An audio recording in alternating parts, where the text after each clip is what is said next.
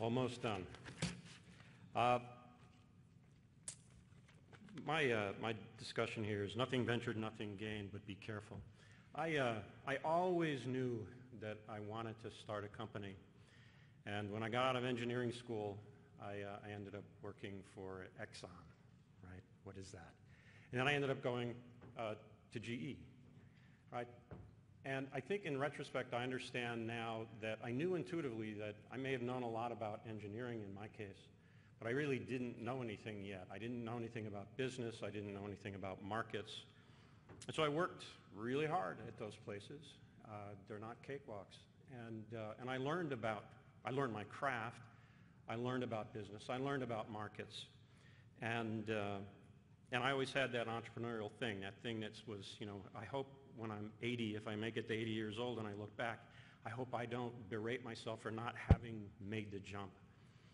But people I knew who had jumped early, who had not paid their dues, if you want to use that phrase, who had not set the stage for themselves, uh, all the people I knew who did that had failed, right? They took the easy path.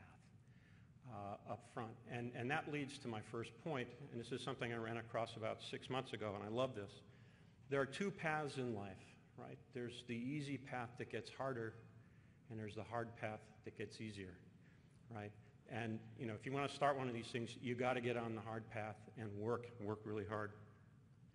Now, uh, in the mid 90s, this internet tsunami was starting to crash on everybody, and I recognized that there, the internet could actually solve a big problem in engineering if we could build a system that ultimately became GlobalSpec. And uh, so four of us decided to start the company. Three of us were at uh, GE, and uh, we started it with GE's blessings. I mean, we, it was nights and weekends for two years. Uh, we gave GE 45 to 50 hours a week, and the rest of it went to GlobalSpec. Our fourth founder, our sales exec, my wife, uh, blew up a beautiful career at Unisys to jump in right off the bat, right, feet first. And so it was 80, 100-hour weeks, and that went on for years and years and years. Uh, in 1999, uh, I got a call one night. It was late in the year, and it was a call from a big company in the internet space. It was one of the internet darlings called VerticalNet. They wanted to buy us. And uh, Terrence, you'll be you know, familiar with this idea, right? So uh, they were worth $10 billion and, uh, and they wanted to buy us. We would fit. It would be good. But I couldn't see what they did. It didn't make sense what they were doing. And they didn't really have revenues yet. They were selling the sizzle, and they were going to worry about the steak later, right? They were on the easy path. Um, and the trick was that they wanted to do this deal in stock, right? And no cash. And I, I just couldn't do that. I couldn't bring myself to do it. So I turned them down. Uh, the next year, 2000, they were now worth $12 billion.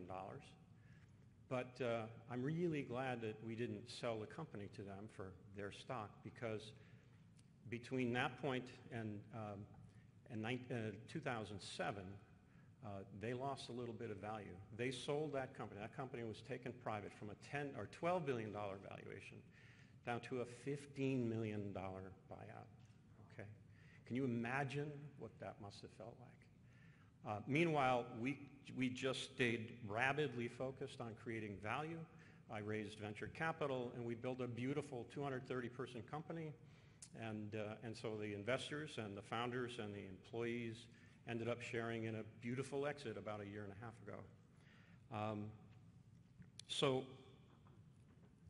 the points here are, again, right, there are two paths, right? You want to get on the hard path and work it, right? It's not easy to do this stuff. Uh, nothing ventured, nothing gained is, is true, but, but you need to recognize that there are these two paths. You got to know which of the paths you're on, right? Now, one of the things that happened uh, when I decided to jump, when I left GE, it was a really tough decision, and uh, and I had spent 12 years there and uh, had really, you know, been able to do well. Uh, and I had talked with my mom about this, and, uh, and she said, uh, look, you're dead a long time, right? So if you really want to do this, do it, just as long as you're financially responsible to your family. And that, made all the difference to me. And that's something that I carry around in my head all the time. You're dead a long time, so if you really want to do this, get on the hard path, right, and, uh, and work it uh, and, and, and do it. And, uh, and finally, it's all about value. We would never have been able to sell that company if we hadn't been crazy about creating value. So, uh, so you know, if you do that, chances are good you'll, uh, you'll have a good outcome. So uh, may your path get easier, okay?